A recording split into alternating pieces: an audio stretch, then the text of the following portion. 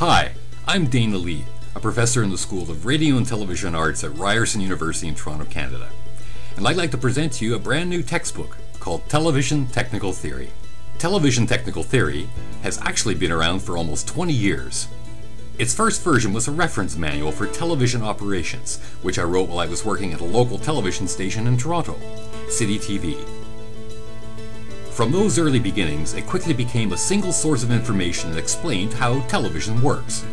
It's gone through several revisions and rewrites, and has been used for over 15 years in my television theory course at Ryerson University.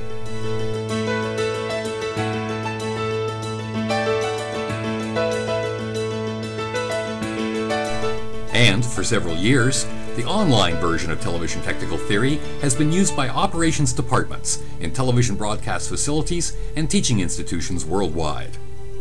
Sure, there are a lot of books and articles out there on how television works, but television technical theory puts it all together in one place, and it describes television in plain English, and in easy bite-sized pieces.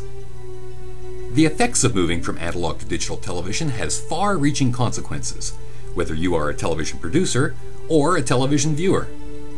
Worldwide, we are updating our television technology to a fully digital system, from the acquisition of video footage all the way to the consumer's television set.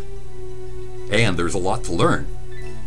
Television technical theory gives you a complete explanation of all that's happening in the transition to a completely digital video production environment.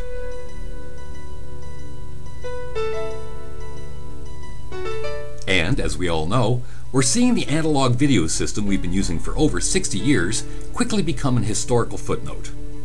But digital video is a descendant of analog, so it's important to understand our analog legacy as well.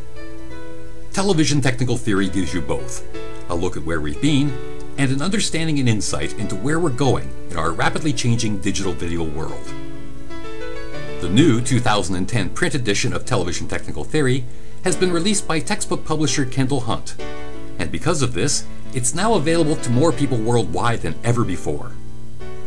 Do you work in a television station going through a rapidly changing digital video transition? Do you teach video technology at a university, college, or high school? Or do you just want to keep up with the latest changes in all aspects of television technology?